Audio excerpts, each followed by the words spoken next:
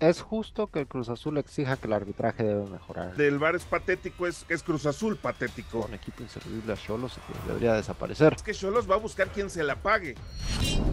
Chucho, el Cruz Azul perdió como nos acostumbra a perder de, fan- de manera dramática, hasta con... Podemos culpar al árbitro de una decisión polémica en contra de la máquina, pero se las arregló para perder un partido que pudieron haber ganado. Ese es el, esa es la historia de Cruz Azul desde que tú y yo estamos en, esta este planeta Tierra. Se las ingenian para perder. Y vienen de perder contra Toluca y ahora se enfrentan a Cholos, un equipo que tú eh, hace un par de semanas les dijiste que era un equipo inservible, que no servía para nada. Eh, te mandaron a callar, no les hiciste caso. Pero hoy por hoy, Tijuana es de los, está buscando ser de los mejores cuatro del torneo. Está en las posiciones de liguilla, bien posicionado y con una buena racha de partidos sin perder, aunque perdió hace un poco, pero en general, muchos empates, muchas victorias para el cuadro de Cholos. Te saludo con gusto, mi querido Tigre. Sí, eh, en las últimas horas hemos tenido que escuchar esta sarta de lloriqueos por parte de la directiva, de jugadores, de Aguirre, de los aficionados, diciendo, bueno, es que nos robaron, es que Cruz Azul es increíble lo que hizo el árbitro. Sí, sí, sí, sí, el VAR es patético. Pero sí, igual de- del VAR es patético, es, es Cruz Azul patético. Correcto. Y la, y la culpa, en origen, es del equipo. Es increíble las fallas de Antuna, Tigre. Es increíble cómo estos futbolistas que tendrían que jugar en el equipo grande de Cruz Azul, tanto mexicanos como sudamericanos, no responden. Y ese es el punto principal. No nos hagamos tontos. Cruz Azul pierde los partidos porque es un equipo muy malo. Diego Aguirre llegó con un gran cartel y simplemente este Cruz Azul que vimos contra Toluca es lo mismito que hemos visto durante las jornadas pasadas. Entonces creo que para empezar habría que poner claro, Tigre, Cruz Azul es un equipo muy malito. Que el arbitraje haya hecho que no empatara y perdiera, puede ser, pero definitivamente estos lloriqueos están de más. Es justo que el Cruz Azul exija que el arbitraje debe mejorar el fútbol mexicano. Justo. Sí, perfecto. Y es para todos los equipos eso. El arbitraje en el fútbol mexicano va de mal en peor. Pero el Cruz Azul también, y bien lo dijiste. La autocrítica, ¿cuándo? O sea, no es este el primer partido que pierden en el torneo. Llevan ya varias derrotas. Han, han perdido contra equipos buenos, contra equipos malos. En casa, eh, de visita, se les está escapando la posibilidad de llegar a liguilla. Y en cuanto a Cholos, es un equipo que, que tú dirías, y, y lo decimos los dos, no es un plantel que te, que, que meta miedo, que nos espante, que digamos, o sea, lo, lo habíamos dicho tú y yo, y lo digo de burla, que Sí. tú fuiste el que, el que le dijiste un equipo inservible a Cholos y que debería desaparecer.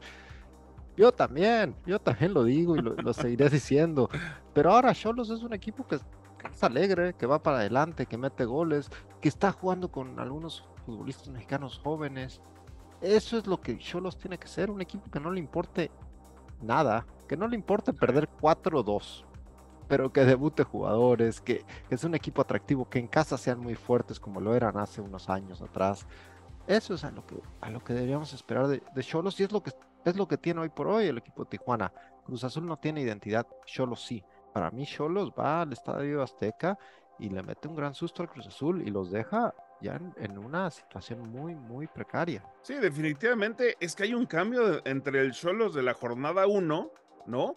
Y este Cholos. Si bien tiene dos partidos sin, sin ganar el equipo de Cholos, pero creo que se ha enfrentado a equipos importantes de la Liga MX. Está compitiendo, cosa que en la jornada 2 sabíamos que Cholos iba a ser el equipo que quedara en 16, 17 o 18. Hoy este Cholos con Ricardo Baliño al mando, que siendo, siendo muy sinceros, yo pensaba y sigo pensando que es un plantel corto. Lo de Montesinos como líder está generando cada cosa importantes. Sí, le empatan de último minuto ahí en Tijuana y seguramente esto lo único que provocará no es que Cholos se caiga. Lo que va a provocar es que Cholos va a buscar quien se la pague.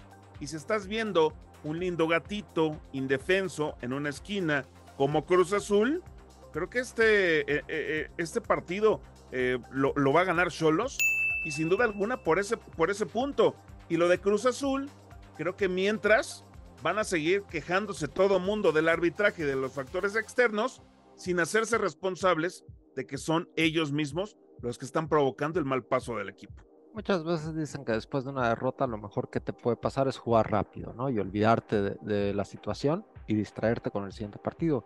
Pero bien lo dices, Cruz Azul está pensando en factores externos en vez de verse adentro. Entonces, como no han arreglado ese problema, y ese problema es de ellos, creo que este partido les llega demasiado rápido, el Sí. partido ante Cholos. Y para mí también, Cholos es favorito, a pesar de ser visitante, a pesar de ser un plantel más corto que la máquina. El Club Tijuana va al Estadio Azteca y se lleva los tres puntos. Y ahora sí, Cruz Azul, las campanas al vuelo y, y hay crisis de verdad. Por esos partidos en media semana, Tigre, es difícil que empecemos a decir, si pierde este partido, lo corren. Si pierde este partido, está en juego su, su, su trabajo.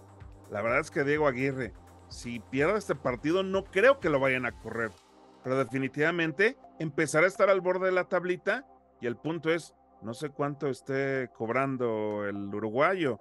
Por ahí puede ser un factor el que Cruz Azul en algún momento reaccione, pero ¿cuánto te extrañamos, Juan Reynoso? Ajá, pero, pero qué, qué latoso que era, qué, qué mal que traía el vestuario, que ya sabes, con todas esas tonterías que dicen los directores deportivos y la mesa ejecutiva de cada club en el fútbol mexicano para sacarse de un problema así rapidito. Chucho, los dos nos vamos con un triunfo de Cholos. Amigos, si creen que estamos equivocados, suscríbanos en este video, aquí en su canal favorito de, de YouTube, Vamos Deportes, y síganos en todas las predicciones de- del fútbol mexicano con un like y una campanita, así les llega una alerta cuando les decimos que el no va a ganar en otra jornada más de este fútbol mexicano. Chucho, un placer.